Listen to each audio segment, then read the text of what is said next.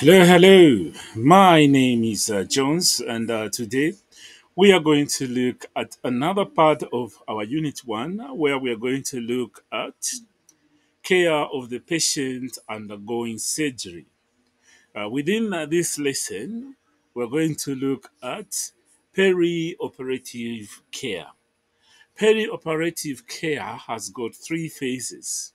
There is care before the patient goes for surgery, there is care of the patient during surgery, and there is care after the patient goes for surgery.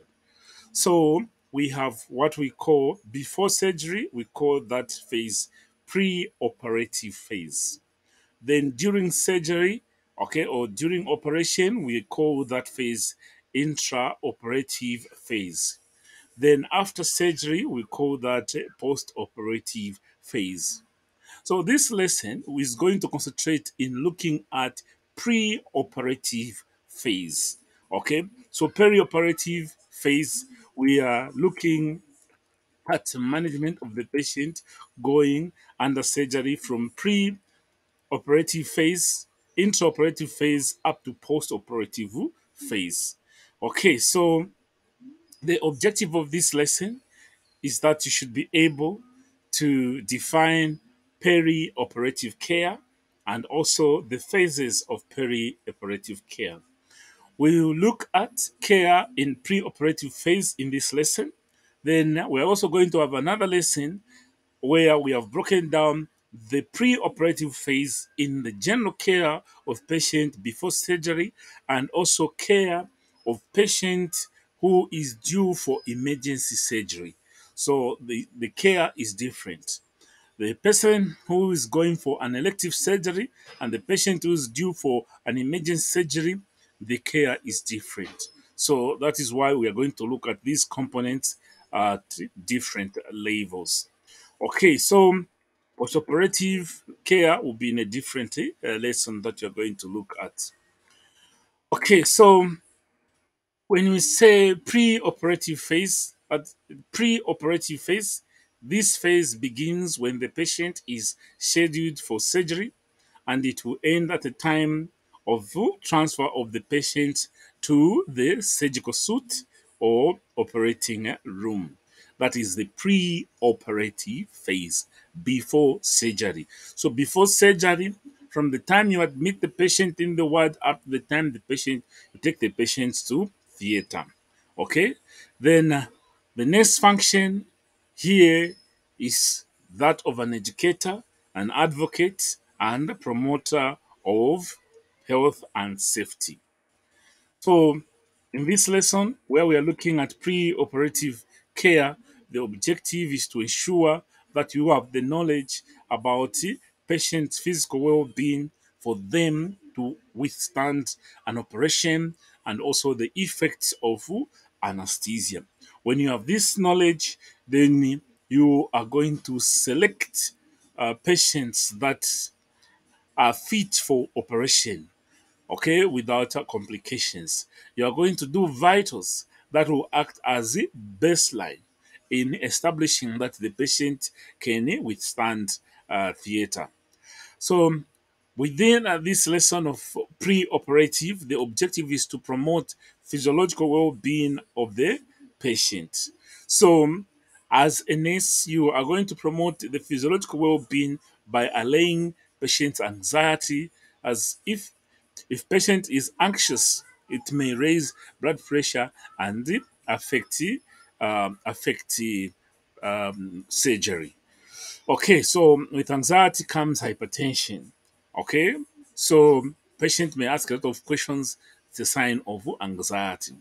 So the other objective of perioperative, uh, of uh, pre-operative, is to provide patient with the psychosocial comfort and also promote confidentiality. So those are some of um, the some of the objectives that we need to appreciate apart from other objectives of preventing infection and ensuring that the patient is spiritually prepared for the surgery. Okay, so now in looking at peri-operative activities, we are coming up with our own aprophenema.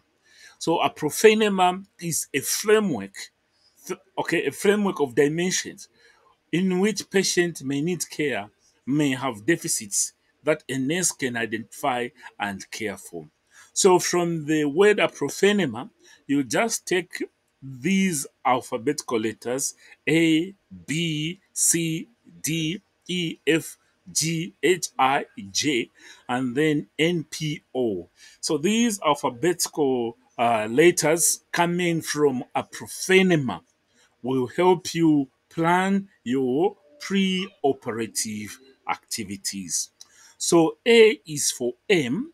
Okay, you need to have your M for the care of the patient pre-operatively. Based on your knowledge about surgery, based on the knowledge about patient's condition, okay, so you are going to draw up the M's.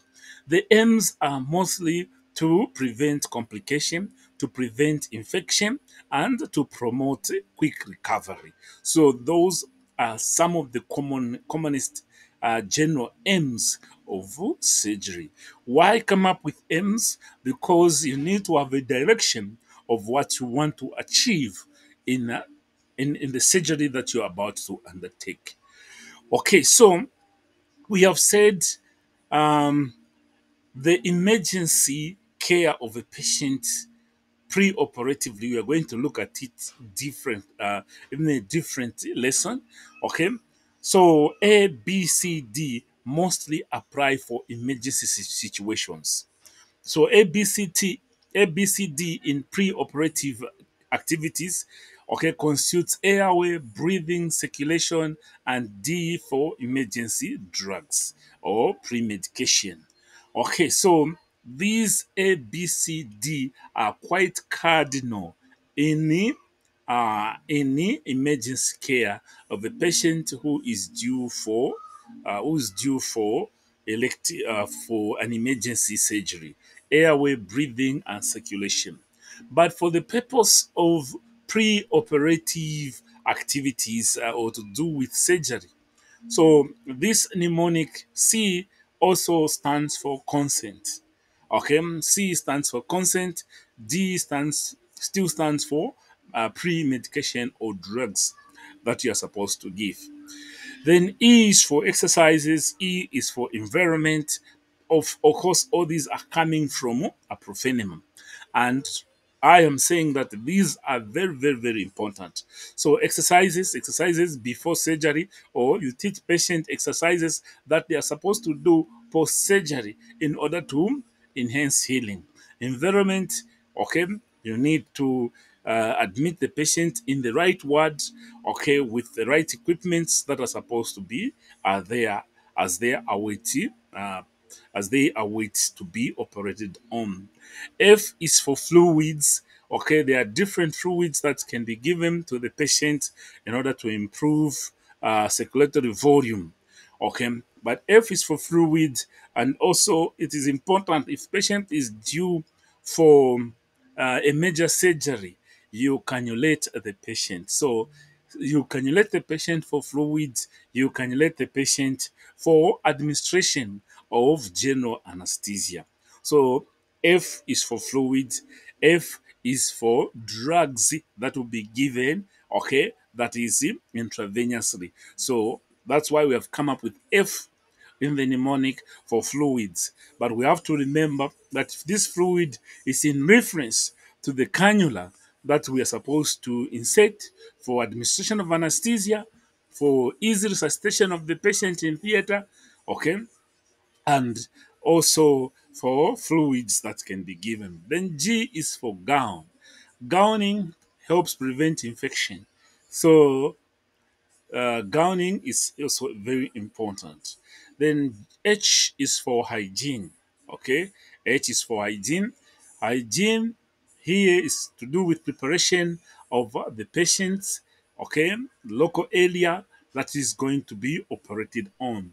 H is also for handover, the handover that you have to give. So remember, these letters are not um, arranged in a chronological order but see, they're arranged in this alphabetical manner for easy memorization of what you need to do for a patient pre-operatively. Okay, then I is for investigation. Okay, you need to do investigations for elective surgery, investigation that can be done for emergency surgery. There are investigations, special investigations that can be done because it's an emergency. Then I can also be is also important in pre-operative uh, for identity. Identity of the patient containing age, sex, okay, weight is quite helpful in pre-operative. So patients should have their identity, okay, identity band. Okay, then uh, J is for removal of all jewels. So jewelries, jewelries needs to be removed to prevent electrocution or prevent them from uh, falling back. If someone has got some artificial teeth, they may fall back and bring about problems of electrocution and breathing. So J is for remove for jewelries. So remove all jewelry. Okay, then N is for nutrition. Elective surgery, you might need to improve nutrition status, but nutrition here it will help patient to recover well or fast. Then P is psychological care. Patient who is about to go to for operation may have some uh, may have some anxiety. So psychological care is very important for all patients. Psychological care position it can be any any position, okay, uh, that the patient is comfortable with.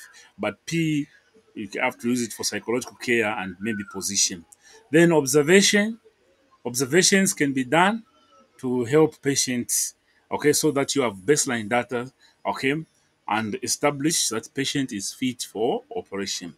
So these A, B, C, D, E, F, G, H, I, J, and N, P, O simplifies your understanding of pre-operative activities. Okay, to expand these a little bit, okay, we can start, let's say, with environment. The patient will be nursed in a surgical ward, and the environment where the patient is nursed should be clean and well ventilated to prevent infection and allow free circulation of air for optimum exchange of gases uh, between the patient and the environment. The environment should also be free from noise. This is to help promote rest and also promote comfort. Okay, environment should be safe uh, in the way that if, uh, let's say, um, they are cleaning the environment, there should be proper labels so that the patient does not fall. So put clear labels so that the patient does not fall on those shiny floor or patient does not fall from any spillage. The patient bed must be well made with clean and dry bed linen to prevent infection and promote uh, patient's comfort and thus improve patient's self-esteem. So uh, that is to do with the, the environment. Other elements to do with environment is that you must have good lighting for in, for good observation. Okay, uh, for good observation of the of the patient, and also within the environment, good lighting will also help for visibility during performance of medical procedures. Then uh, position, the patient can be nursed in any comfortable position, depend or dictated by the condition or depending on the condition. So all these are coming from the ABCD, uh, okay, mnemonic that we have written, and I've said it is derived from the aprophenema. Okay, then uh, psychological care. Okay, this is the care that is given to the patient to ascertain psychological states and attend to their uh, psychological reactions to disease and also hospitalization. The aim of this care is to ensure mental well being of the patient. This will be done following interventions like explaining the condition to the patient. This will allay anxiety. Furthermore, the disease process should be explained to the patient in simple terms so that patient can understand the outcome of the procedure. Also, You need to explain to the patient the investigations uh, that are being done in order to gain cooperation, and it should include laboratory and radiological investigations that are being done. So you explain why these procedures are being done.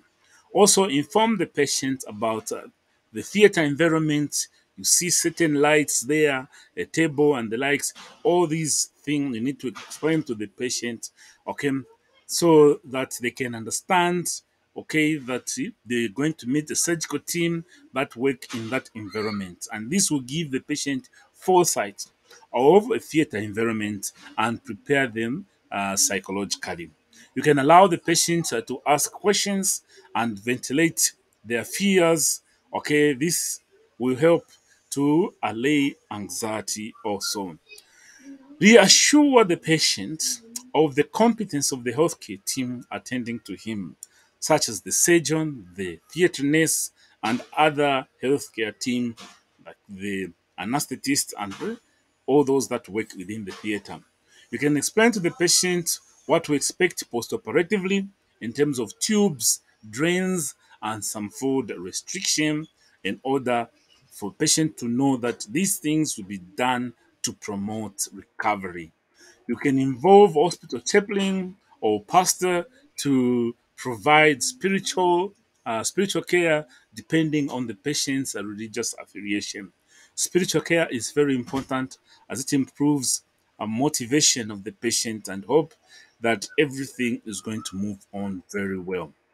Then consent for surgery, which is C in our ABC. So an informed consent is a legal document signed by patient or his relative to signify that they have understood the process of the operation and are willing to allow the operation to go on. The consent of the surgery should be countersigned by the doctor or the nurse. Before the patient signs the consent form, the surgeon or nurse should provide a clear and simple explanation of what the surgery will entail, possible risks, complications, disfigurements, and disabilities, and also what to expect early and late postoperatively. The patient also personally should sign the consent form, okay, as if at all they have reached the legal age, okay, and also um, it will help to protect the team that is going to work on them and also protect the patient that um, all procedures have been done according to what was consented for. If patient does not qualify to sign, a legal guardian or next of kin should sign the consent form on behalf of the patient. In case of hysterectomy or sterilization, the husband's permission should be obtained. That is, if him, the husband is um, is alive, okay, and uh, this procedure has to be done. So the husband's permission. So an hysterectomy has been performed to mean uh, uh, this woman will not have uh, children. So it is important, okay, that uh, the husband is explained to and is around. So in an emergency, the surgeon or medical superintendent will sign the consent if there are no relatives. Okay, so in uh, pre-operative care, also history taking is important. If patient has had surgical operation before and taking note of reason of surgery is important in the history taking. We can find out about past illnesses, history of chronic illnesses such as uh, tuberculosis, hypertension, diabetes, epilepsy, even allergies. Okay, so it when you find out about allergies, for example, it will allow you to be aware of the drugs that the patient might be allergic to and avoid these drugs. Okay, then um, physical examination. You can do a thorough patient examination from head to toe by inspection, palpation, percussion, and auscultation to detect any abnormalities. So you can take note of uh, texture of the skin, hair, and detect any skin lesions and signs of poor nutritional status. You can check ears and eyes for any anatomical abnormalities and discharges. So HP Comp Lab, okay, constitutes the investigation that you can do. in the mnemonics. So H, that is history taking. Then P, physical examination. Comp, computerized investigation that can be done like scan and X-ray.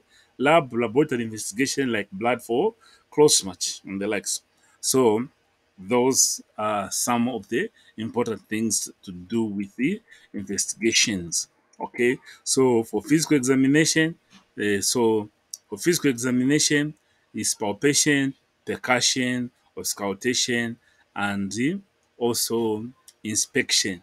So that is what is important when you are doing uh, a physical examination. Okay, so that is PP. Okay, uh, PP that is for palpation. Okay, palpation, percussion, PP. Then I inspection. Okay, inspection. So inspection as the uh, part of the physical examination. Okay, so other things as discussed in the ABC, okay, includes nutrition status.